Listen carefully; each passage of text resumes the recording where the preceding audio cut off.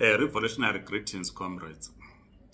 The labor movement in Zimbabwe is beginning to unite, beginning to engage in programs for the benefit of the workers in Zimbabwe. As the Zimbabwe Communist Party, we support such initiatives. Last week, the Labour Forum met in Harare, a very progressive meeting that happened. On the 16th of June, another meeting happened in Bulawayo, and there are other meetings that are planned as organized by the Labour Forum. As the Zimbabwe Communist Party, we support this initiative. Our role as a party at this stage is political education. We've been drawing up pamphlets that workers would use. We have uh, been working on our theoretical journal Vanguard. We have been assisting other unions in publishing their own bulletins. this is meant to assist in political education within the labor movement in Zimbabwe. Would also want to extend this to migrant workers in South Africa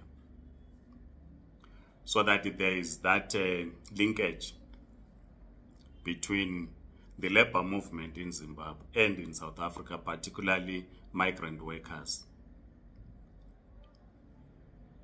We'll continue doing our best in providing political education and want communists to be active in these labor forums.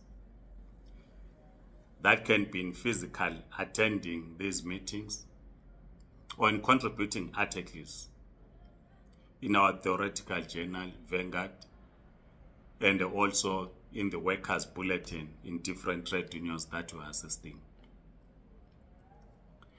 In 2019, January, we had an occasion to address the Congress of the Amalgamated Rural Teachers Union of Zimbabwe. And we believe that uh, the speech that we delivered there is still relevant. So we'll be giving you snippets of that speech, about three minutes, three minutes. It was a 40 minute long speech because we know that workers have challenges in terms of data. So we'll be trying our level best to give you snippets of three minutes. Please listen for the next three minutes for this speech. Amandla, comrades.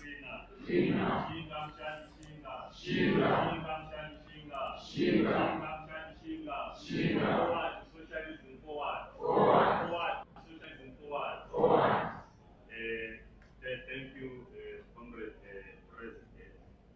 uh, here, uh, all, all the invited guests that are here.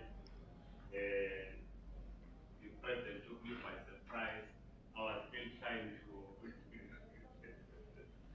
but, but, but, but, nonetheless, I was still trying to listen, but, but nonetheless.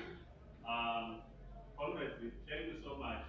Uh, most of you we met uh, last year at your congress or conference uh, in Mutare. Uh, and we did present a statement there. I'm sent by the Central Committee of the Zimbabwe uh, Communist Party, elected on the uh, 19th to the 22nd of December uh, 2019, just last year in December.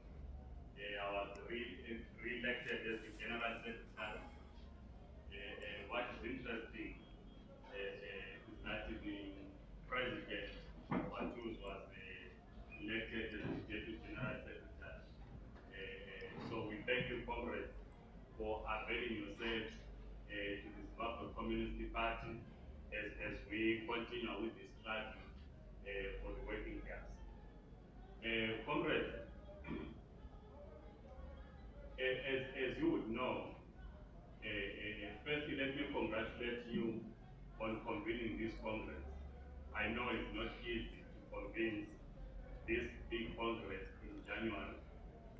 also under the conditions where teachers are being exploited, under conditions where teachers uh, uh, no longer go on strike uh, for an increment, but they go on strike just to be paid.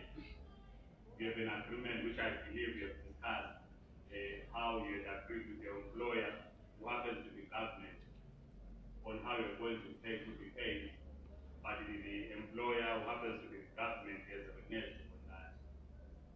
Most of the strikes that you have seen you carrying out, you are not demanding an increment, but you are demanding a different wage. So for you to convene